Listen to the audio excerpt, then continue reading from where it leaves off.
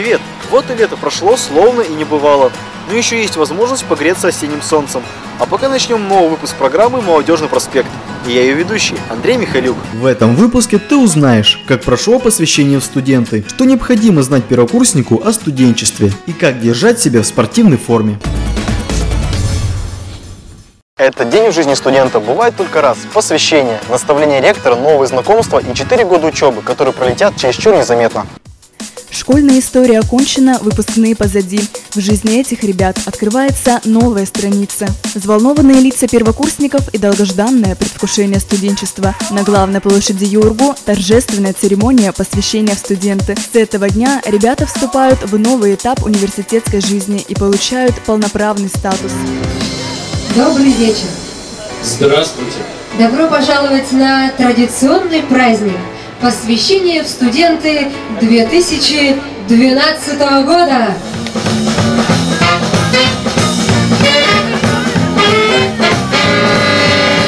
Приветственное слово ректора уже давняя традиция. Появившись на сцене в парадной мантии, Александр Шестаков лично пожелал первокурсникам увлекательного путешествия в студенческую жизнь.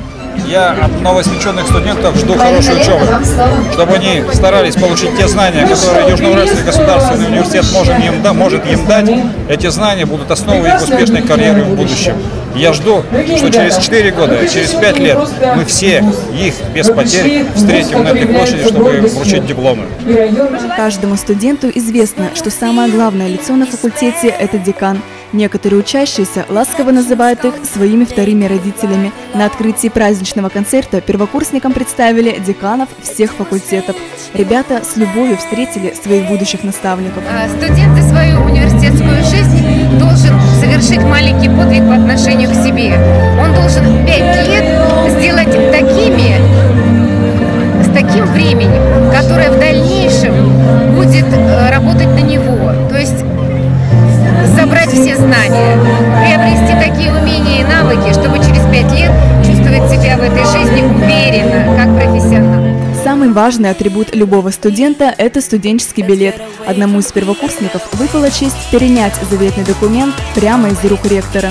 Под ваши аплодисменты ректор университета вручает студенческий билет одному из вас, ваших коллег, первокурснику 2012 года. Официальная часть позади. Теперь на сцене зажигаются звезды Юргу. Творческие коллективы с присущим им мастерством проявили свои хореографические, вокальные и сценические способности. Творческая атмосфера и яркое зрелище. Сегодня здесь настоящий праздник. Сотни первокурсников собрались на площади, чтобы пройти первую и самую важную ступень посвящения студенческую жизнь.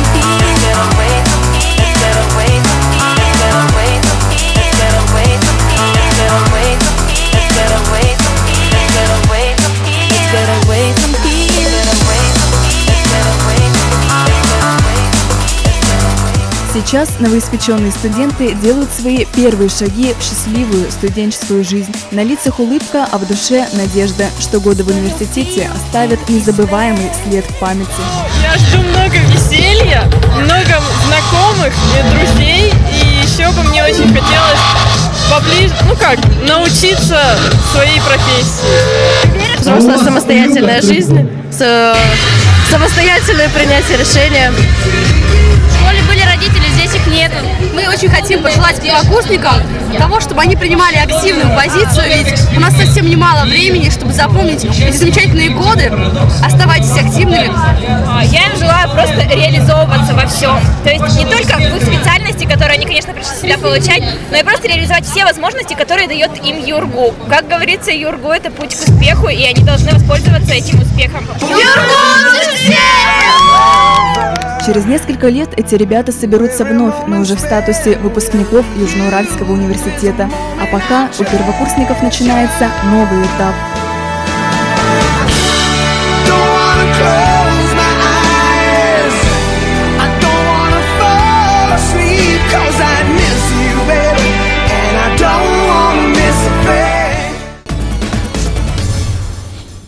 Школяр вчера, первокурсник сегодня. Сменил аттестат на студенческий билет. Думал, что теплые летние дни сменятся на осенние скучной лекцией? Ничего подобного. Сначала познакомься с одногруппниками и узнай побольше о непростой жизни студента. День отдыха начинается не с зарядки, а с бега по рубежам. Спартакиада – один из традиционных конкурсов на адаптационных сборах. Студент первого курса юридического факультета Георгий Васильев приехал сюда узнать больше о своей профессии, познакомиться с преподавателями и одногруппниками. Бегали, то есть командная игра была там, и физическая культура здесь, и вопросы, и знания как бы свои показываешь тоже там и в литературе. В сборах задействованы все первокурсники юридического факультета. Каждый день ребят расписан по часам. Даже обедать всем приходится по графику. Студенты старших курсов выступают в роли шефов, то есть вожатых. Одна из них Анастасия Меркурьева. Когда-то тоже участвовала в таких сборах. Я участница первого выезда данного факультета. А, конечно, впечатления у меня были хорошие. Я принимала первый раз участие в этом выезде как студентка. Шефы хорошо приготовили свою работу, мы познакомились с преподавателями, и 1 сентября мы провели просто прекрасно в дружной компании всем курсом. На этих сборах студенты знакомятся не только друг с другом, но и с преподавателями, узнают много нового о своем факультете.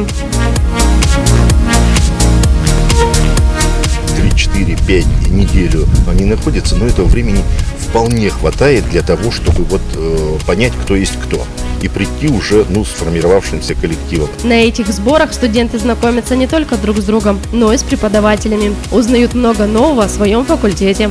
Такое погружение в профессию помогает ребятам в дальнейшем принимать активное участие в жизни университета, а также найти общий язык с работодателями и с будущими клиентами. У кого-то это талант в интеллектуальной деятельности, у кого-то в спортивной, у кого-то в культурно-досуговой, кто-то в большей образом будет лидером, будет организатором. И поэтому на этих сборах они могут полностью себя самореализовать. Программа мероприятий составлена с учетом современных методик образования. Четыре дня адаптационных сборов наполнены конкурсами и квестами.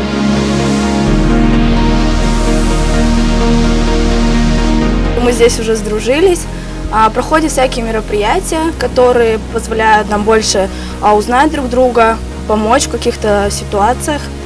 Вот, я очень советую в следующем году первокурсникам поехать. Помимо культурно-досуговых и спортивных мероприятий, для студентов проводят мастер-классы и встречи с работодателями. На этот раз курсы посетили президент Юргу, судьи арбитражного и федерального судов, адвокаты и сотрудники полиции. В этом году, кроме юристов, адаптационные сборы прошли студенты факультета экономики и предпринимательства и торгово-экономического.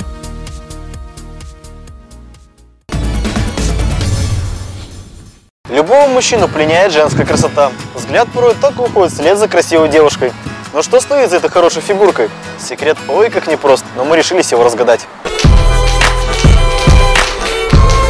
Красота и здоровье – залог успеха, а добиться такого успеха можно лишь путем длительных тренировок в спортзале. По устоявшимся стереотипам трудно представить хрупкую, изящную девушку в бойцовских перчатках и с боксерской грушей. Но для 20-летней Екатерины стереотипы ничего не значат. Она уже год занимается фитбоксом. Тренировки по три раза в неделю привели к желаемому результату, и останавливаться на достигнутом Катя не собирается.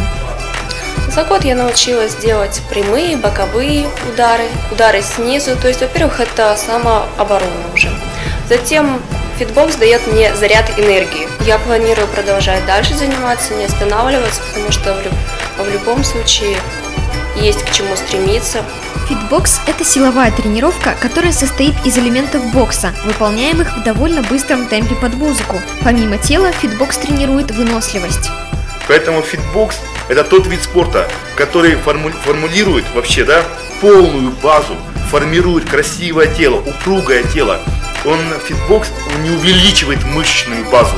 Работа на тренировке построена на прыжках и ударах. Именно поэтому фитбокс не рекомендуется людям со слабыми суставами или травмами. Зато это одно из самых результативных фитнес-направлений. За одну тренировку можно избавиться примерно от 1000 килокалорий, сделать тело упругим и привести мышцы в тонус. Существует множество способов быть в отличной форме, а в таких фитнес-направлениях, как боди-балет и фитбокс, результат тренировок один – утонченная фигура. Но что же выбрать? Бой под ритмичную музыку или фитнес-хореография?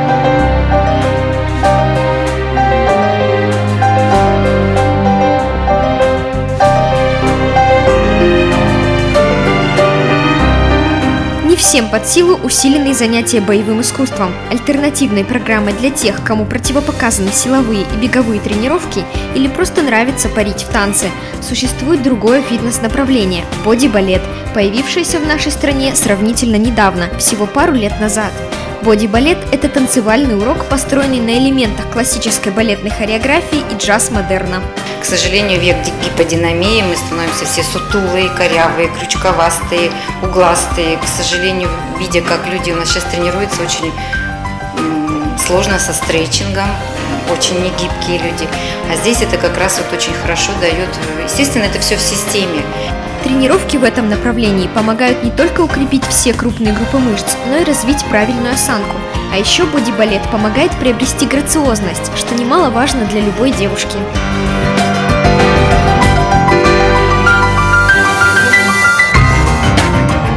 Противопоказаний к занятиям бодибалетом нет. Начать заниматься могут все желающие с любым уровнем подготовки. Энергичная девушка Виктория с детства занимается эстрадными танцами, но сейчас открыла для себя новое направление.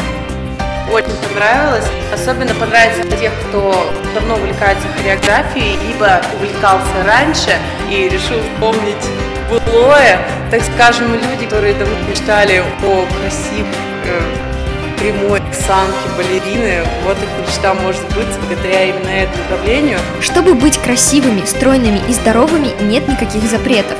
Индустрия фитнеса – одна из самых развивающихся и популярных на сегодняшний день. В любом спортивном клубе специалисты подберут программу вам по душе или составят индивидуальную систему тренировок. Нужно только ваше желание и терпение.